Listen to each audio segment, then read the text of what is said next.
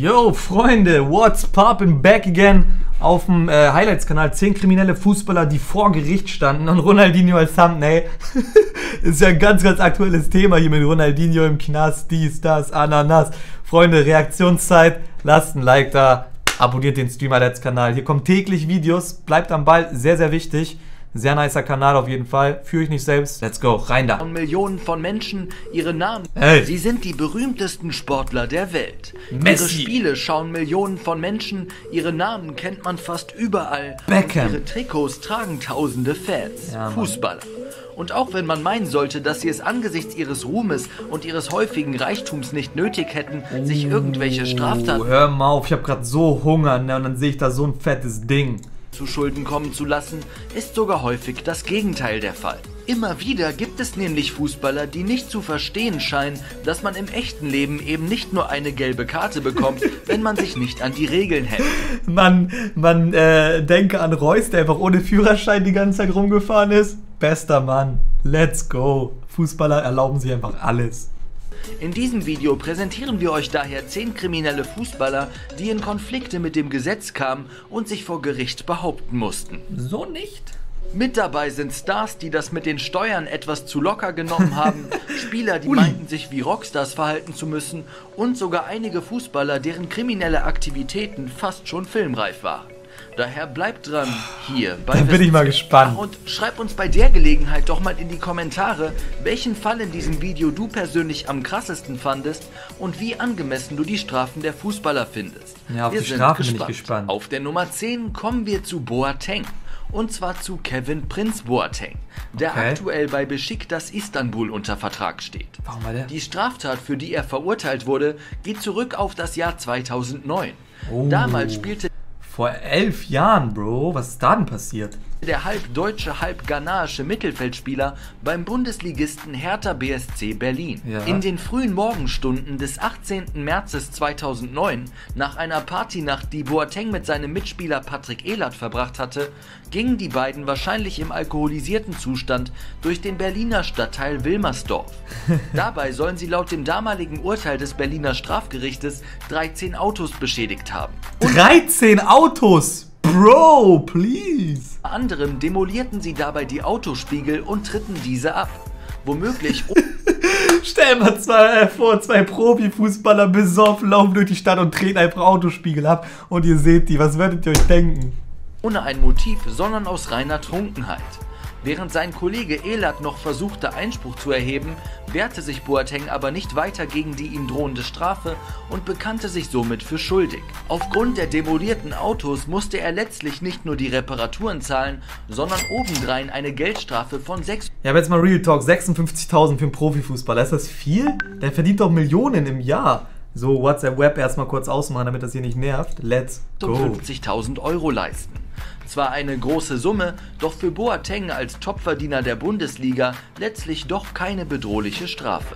Kommen Digga, da würde ich auch nicht viel rumsabbeln. Wenn ich Profifußballer wäre, würde diese Strafe annehmen. 56k hier, nimm, komm, nimm und nerv mich nicht. Zur Nummer 9 und damit zu einem wesentlich heftigeren Vergehen. Und zwar ein Vergehen des ehemaligen Spielers von Real Madrid, Raúl Bravo.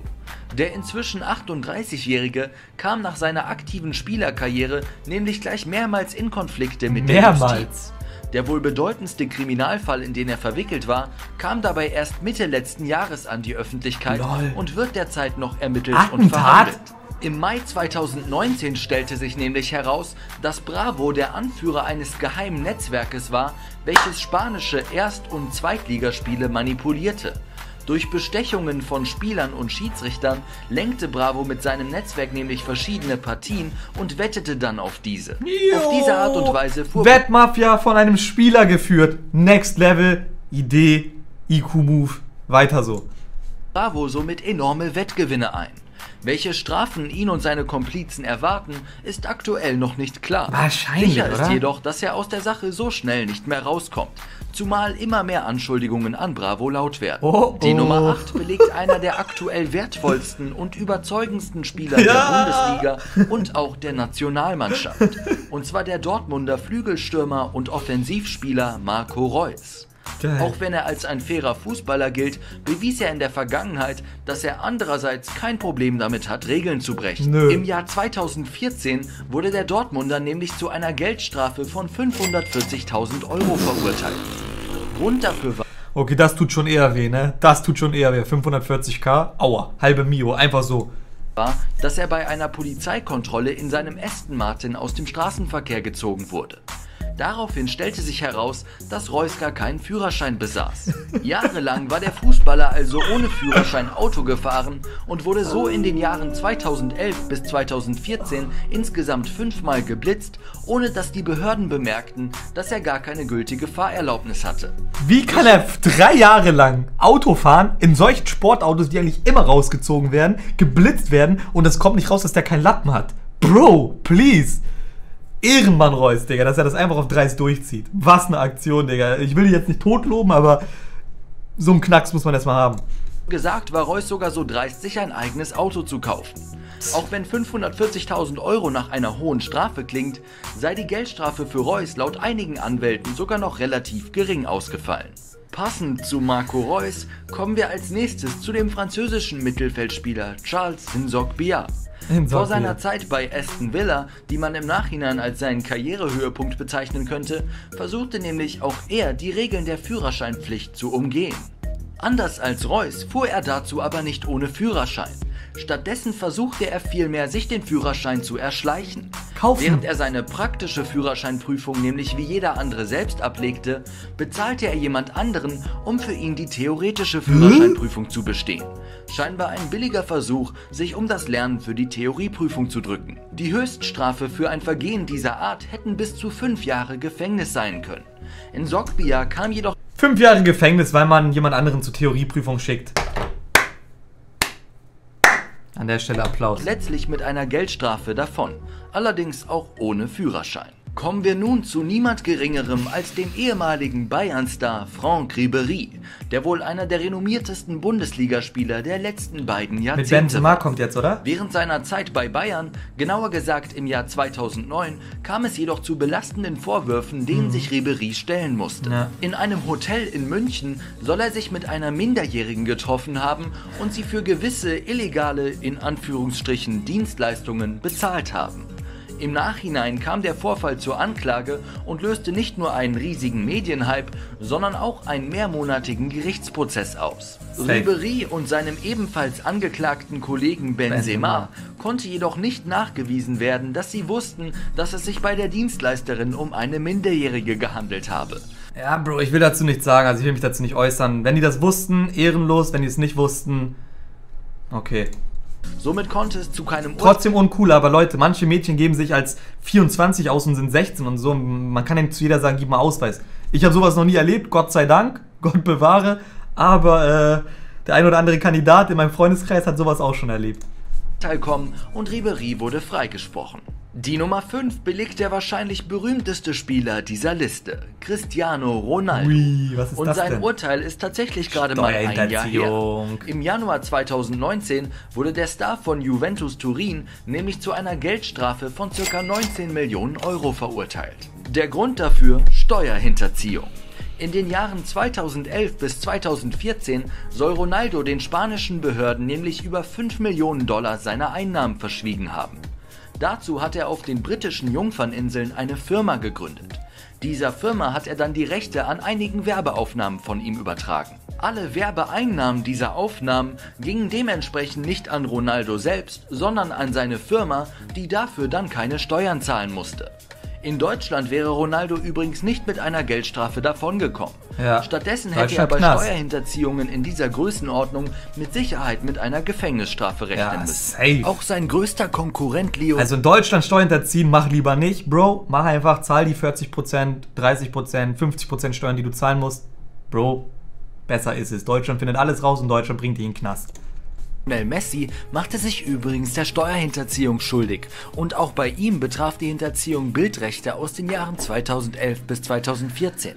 Anders als bei Ronaldo war Messi jedoch nicht alleine für den Betrug verantwortlich. Im Gegenteil, die Hinterziehung soll von seinem Vater ausgegangen sein, der sich um seine Finanzen gekümmert hatte. Okay. Auf der Nummer 4 kommen wir zu einer Fußballlegende. Papa, so nicht, ne? Hier an der Seite nochmal was vorbeischieben. Nee, die vielerorts als absoluter Sympathieträger Wow, gilt. Ronaldinho. Und zwar Legend. Ronaldinho. Überraschenderweise wurde der ehemalige Barca-Star und Weltmeister von 2002 erst am 5. März diesen Jahres verhaftet. Und zwar Ja. in Paraguay bei einer Geschäftsreise. Der Grund für seine Verhaftung war, dass der ehemalige Fußballstar zusammen mit seinem Bruder gar keinen gültigen Reisepass hatte und stattdessen mit einem gefälschten Pass eingereist war. Hintergrund dessen ist, dass Ronaldinho vor einiger Zeit in Konflikt mit den brasilianischen Behörden kam. Bei der Bebauung eines Grundstücks hatte Ronaldinho nämlich einige Vorschriften missachtet und so größere Umweltschäden verursacht. Daraufhin forderten die brasilianischen Behörden eine millionenschwere Entschädigungszahlung. Als sie diese von seinem Konto pfänden wollten, war dieses allerdings nicht mehr gedeckt. Ronaldinho hatte sein Geld verschwinden lassen. Als Lol. Reaktion darauf entzogen die Behörden ihm damals dann noch den Reisepass. Welche Strafe nach seiner illegalen Aus- bzw. Einreise auf ihn zukommt, ist noch nicht klar. Sein Image jedoch hat unter der Aktion bereits enorm gelitten. Kommen wir zur Nummer 3. Ehrenmann, reist einfach mit gefälschtem Pass. In welcher Welt lebst du? Blacklist. Netflix-Welt. Bro, kranker Typ, jo. 3 und damit zu einer weiteren Legende. Und zwar Diego Maradona.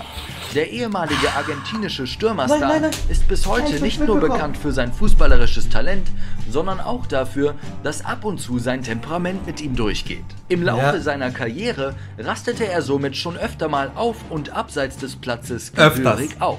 Betont. Einmal schlug er dabei jedoch ziemlich über die Stränge. Die Rede ist von einem Vorfall vor der Weltmeisterschaft 1994. Maradona war damals alles andere als in Form. In den Monaten vor der WM stieg deshalb der mediale Druck auf ihn. Um über Maradona zu berichten, versammelten sich damals deshalb einige Journalisten vor seinem Privathaus in Argentinien. Nachdem Maradona stundenlang mit ihnen diskutierte und sie wegbefahl, rastete er dann aus. Er schnappte sich ein Luftgewehr und zielte auf die Journalisten. Schließlich wurde er dafür für zwei Jahre und zehn Monate auf Bewährung verurteilt. Der Nummer zwei ist der wahrscheinlich größte Stell dir Kriminal mal vor, Montana Black kommt RTL-Mitarbeiter oder so, wollen ihn interviewen und er nimmt Schrotflinte raus und zielt auf die. Lue? Fall, den der deutsche Fußball in den letzten Jahrzehnten gesehen hat. Uli Die Hoeneß. Rede ist von dem Steuerhinterziehungsfall Uli Hoeneß. Im Frühjahr 2013, ausgelöst von Recherchen von Journalisten des Sterns und Ermittlungen der Steuerfahndung München, wurde öffentlich, dass der Bayern-Vorstand seit den 70er Jahren hunderte Millionen von Euro nicht versteuert hatte. Stattdessen hatte er das Geld auf Konten bei der Schweizer Privatbank Vontobel geparkt. Nachdem Hoeneß von den Ermittlungen Wind bekam, zeigte er sich daraufhin selber an. Seine Selbst 18,5 Millionen. Anzeige wurde allerdings nicht als strafmindernd akzeptiert, sodass er neben enormen Steuerrückzahlungen auch über drei Jahre Haftstrafe bekam. Dennoch wurde er letztlich schon nach der Hälfte der Zeit auf Bewährung entlassen.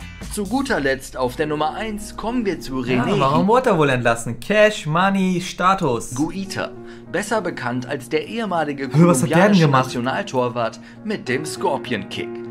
Noch Aber was zu seiner aktiven Zeit als Spieler führte Higuita nämlich quasi ein Doppelleben. Er hatte Kontakte zu einem bekannten Drogenbaron namens Luis Carlos Molina, für den er einige Aufgaben erledigte und dafür immer wieder Zahlungen erhielt. Beispielsweise beauftragte Molina ihn, einen Konkurrenten von sich aufzuspüren, wofür Higuita 64.000 Dollar erhielt. Aufgrund der Aktion wurde Higuita jedoch festgenommen und schließlich zu sieben Monaten Haft verurteilt. Da Korruptionsfälle vor allem in den 80er und 90er Jahren in Kolumbien nicht selten waren, ist nicht auszuschließen, dass auch hinter Higuitas Narcos. geringe Haftstrafe möglicherweise Bestechungsgelder stecken. Etwa so bestechend wie Higuitas Scorpion Kick. Und das war's mit 10 kriminellen Ey Junge, geiles, geiles Video, Leute. Lasst ein Like da. Ich drop hier auch mal ein Like. Sehr, sehr wildes Video. Äh, lasst ein Abo auf dem Kanal da. Lasst ein Like da, wie gesagt. Bleibt am Ball. Nices Video.